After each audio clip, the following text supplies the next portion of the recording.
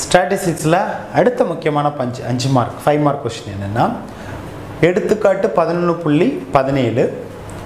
Find the coefficient of variation of the following data eighteen twenty fifteen twelve and twenty five அதாவது இந்த டேட்டாவுக்கு கோபிஷன் of வேரியேஷனை மாறுபாட்டு கெழுவை காண்க அப்படின்னு சொல்லி இருக்கும் நம்ம ஆல்ரெடி சொன்ன மாதிரி ஸ்டாண்டர்ட் டீவியேஷன் அல்ல மாறுபாட்டுக்கள். அந்த மாதிரி கொஷின் இருக்கும். ஸோ எதுனாலும் பார்த்தீங்கன்னா ஸ்டாண்டர்ட் டிவிஷனாலும் சரி தான் கோ கோபிஷன் ஆஃப் வேரியேஷன் மாறுபாட்டுக்கள் எதுக்குனாலும் நீங்கள் ஃபஸ்ட்டு என்ன செய்யணும்? வேரியன்ஸ் கண்டுபிடிக்கணும். வேரியன்ஸுக்கு நாலு ஃபார்முலா இருக்குது நாலு ஃபார்முலாவில் you can choose any formula நம்மளோட சாய்ஸ் எந்த ஃபார்முலா யூஸ் பண்ணினாலும் நம்ம என்ன செய்யலாம்? வேரியன்ஸ் கண்டுபிடிச்சி வேரியன்ஸ் ரூட் எடுத்தால் ஸ்டாண்டர்ட் டீவியேஷன் கிடச்சிரும். அதில் அடுத்து இந்த ஃபார்முலாவில் யூஸ் பண்ணிங்கன்னா சிவி கோஃபிஷன் ஆஃப் வேரியேஷன் கிடச்சிரும்.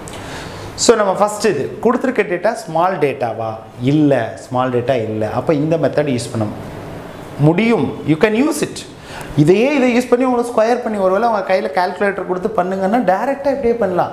ஸ்கொயர் பண்ணி ஆட் பண்ணி டிவைட் பண்ணுங்கள் ஃபஸ்ட்டு ஸ்டெப் அப்படியே ஆட் பண்ணி டிவைட் பண்ணி ஸ்கொயர் பண்ணிங்கன்னா ரெண்டுக்கு டிஃப்ரென்ஸ் கண்டுபிடிச்சிங்கன்னா இம்மிடியேட்டாக நீங்கள் என்ன செய்வீங்க? கால்குலேட்டரில் ஸ்டாண்டர்ட் தட் இஸ் வேரியன்ஸ் கண்டுபிடிச்சி அங்கேருந்து ஸ்டாண்டர்ட் டிவியேஷன் கண்டுபிடிச்சிடலாம். பட் கால்குலேட்டர் கொடுக்க மாட்டாங்க. அப்போ இந்த பெரிய வேல்யூவை இந்த மெத்தட் வச்சு முடியாது. பட் ஸ்டாண்டர்ட் டிவியேஷன் நமக்கு ஒரு ப்ராப்பர்ட்டி இருக்குது கொடுத்த தகவல் கிவன் டேட்டாலேருந்து ஏதோ ஒரு காமன் வேல்யூவை சப்ராக்ஷனோ அடிஷனோ பண்ணால் ஸ்டாண்டர்ட் டிவியேஷன் வேல்யூ மாறாது.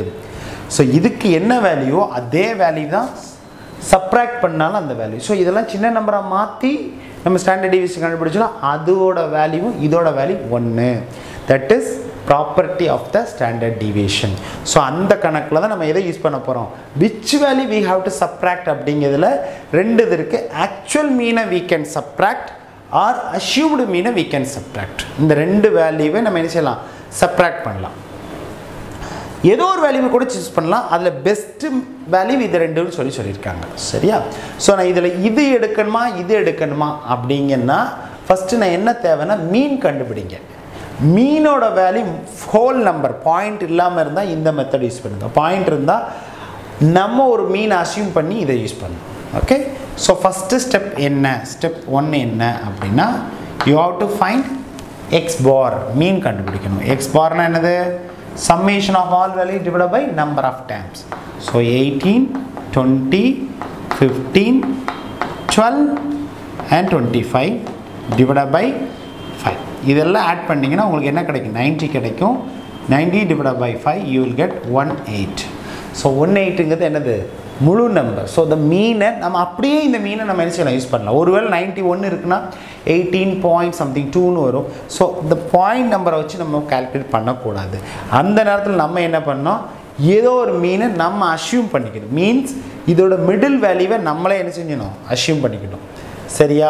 இந்த கணக்கில் முழு நம்பராக வந்ததுனால we can directly go to actual mean method what is the benefit பார்த்தீங்கன்னா இங்கே ரெண்டு காம்போனண்ட் இருக்குது இந்த ஃபார்முலாவில் ஆனால் பாருங்கள் ஆக்சுவல் மீன் மெத்தடில் இந்த காம்போனண்ட்டே போயிடுச்சு. மீனிங் என்னென்னா எல்லா நம்பரையும் எக்ஸ்பாரால் சப்ராக்ட் பண்ணும்போது மீனால் சப்ராக்ட் பண்ணும்போது டியோட value summation of d zero ஆயிடுது. அதனால தான் இந்த இடத்துல சம்மேஷன் ஆஃப் டி இருக்குது இங்கே இல்லை. ஏன்னா சம்மேஷன் ஆஃப் டி ஜீரோ ஆயிடும் இந்த ஹோல் டேமே என்ன ஆயிடுது?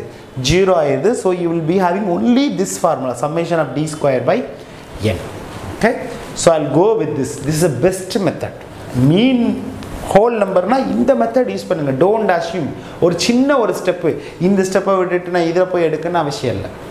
ஸோ மீன் கண்டுபிடிச்சு whole நம்பர்னால் use this method this best method actual mean method இதை சராசரி முறை கூட்டு சராசரி முறை இது யூக சராசரி முறைன்னு சொல்லுவாங்க. ஸோ ஸ்டெப் டூ என்னென்னா ஒரு table x d d square so given value x அப்படியே எழுதிருந்தோம்.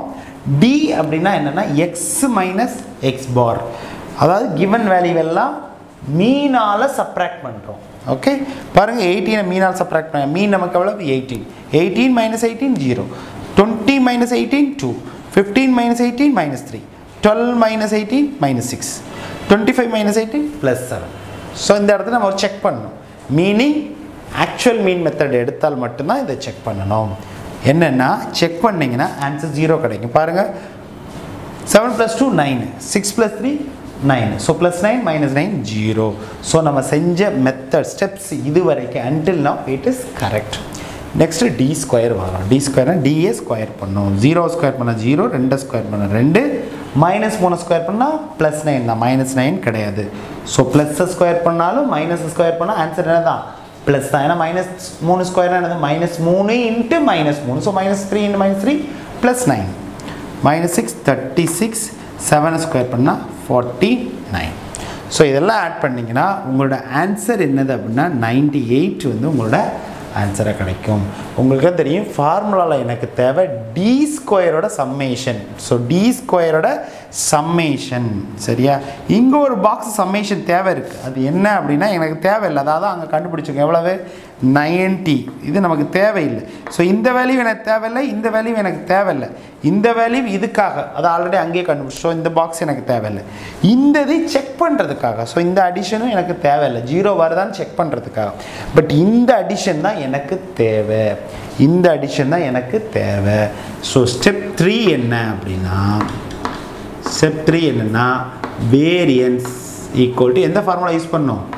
Second formula summation of d square by n summation of d square by n ஒருவேளை இந்த ஃபார்முலா தெரியும்னா வேரியன்ஸ் ஈக்குவல் டு இந்த இடம் டிவைட் பை என்னன்னு கூட போட்டுடலாம். You will they will give mark சரியா? Ninety eight by divide by five so என்ன ஆன்சர் உங்களுக்கு கிடைக்குன்னா நைன்டீன் பாயிண்ட் சிக்ஸ் அடுத்து நமக்கு என்ன தேவை? நமக்கு தேவை கோப்ஷன் ஆஃப் வேரியன்ஸ் நான் அதுக்கு தேவை என்னது? வேரியன்ஸ் வேணும். வேரியன்ஸ்லேருந்து ஸ்டாண்டர்ட் டிவியேஷன் கண்டுபிடிக்கணும். அப்புறம் தான் சிவி கண்டுபிடிக்கணும். So standard deviation sigma equal to root of variance equal to root of nineteen point six so இதுக்கு ரூட் எடுத்தீங்கன்னா அப்ராக்சிமேட்லி உங்கள் வேல்யூ என்னென்னா four point four two eight four point four two eight இது எப்படி root எடுக்குதுன்னு நம்ம general மேத்தமெட்டிக்ஸில் பார்த்துருக்கோம். But சிம்பிளாக assumption பண்ணி சொன்னால் நைன்டீனுக்கு முன்னாடி உள்ள பெர்ஃபெக்ட் ஸ்கொயர் என்னென்னா பதினாறு. ஸோ உங்களோட முதல் நம்பர் என்னென்னா நாலில் தான் ஸ்டார்ட் ஆகும். ஏன்னா பதினாறுக்கு ஸ்கொயர் ரூட் எடுத்தால் நாலு. ஸ்டெப் த்ரீ முடிஞ்சிருச்சு. What next they ask coefficient of areas so that is step four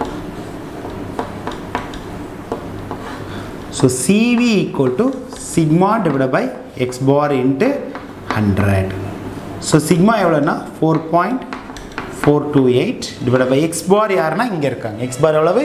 eighteen x பார்னா என்னது? ஆவரேஜ் இன்ட்டு ஹண்ட்ரட் ஸோ ஹண்ட்ரடால் இதை நீங்கள் இதை மல்டிப்ளை பண்ணிங்கன்னா கூட உங்களோட ஆன்சர் என்ன வரும்னா? Four four two point eight means ரெண்டு டிஜிட் தள்ளி வரும். இதோட பை எயிட்டீன் ஸோ இதை இதால் டிவைட் பண்ணிங்கன்னா நீங்கள் டூ டேபிள் போட்டு அப்புறம் என்ன செய்யலாம்? நைன் டேபிளை வச்சு கேன்சல் பண்ணிங்கன்னா உங்களோட ஆன்சர் டுவெண்ட்டி ஃபோர் பாயிண்ட் சிக்ஸ்னு கிடைக்கும். சரியா? ஸோ சிவி அல்லது எழுதுங்க. கோஃபிஷியன்ட் ஆஃப் வேரியேஷன் மாறுபாட்டு கெழு. ஸோ ஆனால் இந்த வேல்யூஸ்க்கு எதுக்கும் யூனிட் தேவையில்லை. சென்டிமீட்டர் மீட்டர் அந்த மாதிரி யூனிட்ஸ்லாம் போடுவோம்ல. பட் இங்கே எதுக்குமே என்ன கிடையாது. யூனிட் கிடையாது. நம்பரை மாத்திரம் போட்டுடணும் so coefficient of variation மாறுபாட்டுக்கு equal to twenty four point six இதுக்கு மார்க் எப்படி கொடுப்பாங்கன்னா இந்த இடம் இதுக்கு ஒரு மார்க் கொடுத்துருவாங்க ஸ்டெப் ஒன்றுக்கு ஸ்டெப் டூவில் உங்களுக்கு ரெண்டு மார்க் கொடுப்பாங்க. ஸ்டெப் த்ரீ ஒரு மார்க் பாருங்கள் ஒன்று ரெண்டு மூணு நாலு இது ஒரு மார்க் அஞ்சு மார்க் உங்களை என்ன செய்வாங்க? பிரித்து கொடுத்துருவாங்க.